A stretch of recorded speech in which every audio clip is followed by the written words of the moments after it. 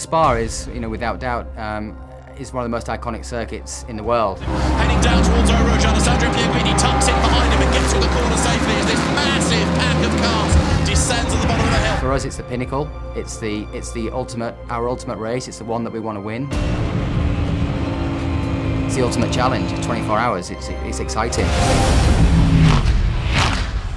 I did the Spa 24 in 2013 and uh, the parade was very special. It's something you can't put a price on, you know, getting people involved, get them to touch the car and uh, I see all the kids all the time just, you know, bringing more and more and more and more smile to their faces.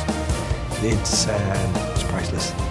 To, to get that close to the cars, to the race drivers, and I think this is something the fans want to see.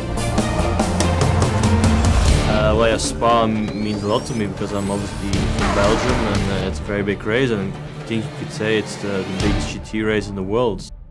We go racing. Laurens Vanthoor in the Audi leads them away. How many series are there in the world where you have so many supercars on one grid and such a big grid? I remember going through Eau Rouge for the first time at Spa and I had a huge smile on my face. And that's the hitting that at the best part of 120 mile an hour. Oh, dear me. Oh, oh, hold your breath. So you get into Blanchimont 1, what am I going to do? Am I going to lift or not? No, I'm not lifting, I'm not lifting. And you plant out on the apex and go, yeah, awesome. You have uphills, you have downhills, you have quick sections. Another massive shunt. You need to push, but still keeping in mind that if you do a mistake, you're going to hit the wall pretty hard. Hurt little finger maybe. Makes it really special. Uh, perfect lap. Yeah, you can feel it straight away hard on the brakes, catching the traffic. And you try not to miss off the lap. You're like, oh, okay, it's gonna go, it's gonna go. And every lap throughout the 24 hour race is a challenge.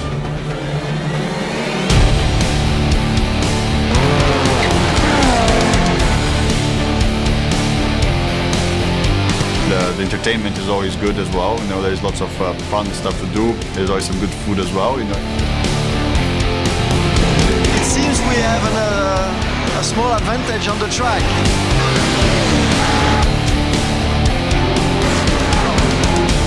Things run normally, it will be very tight to the very end. For sure it's going to be close like this.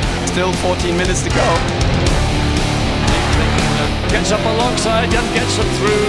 Rene Rast, Laurens Vanthoor and Markus Winkelhock will win the Total 24 Hours of Spa. Yeah, a race I will probably never forget. And three delighted drivers celebrate at Spa. Laurens Vanthoor, Rene Rast, Markus Winkelhock win not just the Pro Cup, they win the Total 24 Hours of Spa.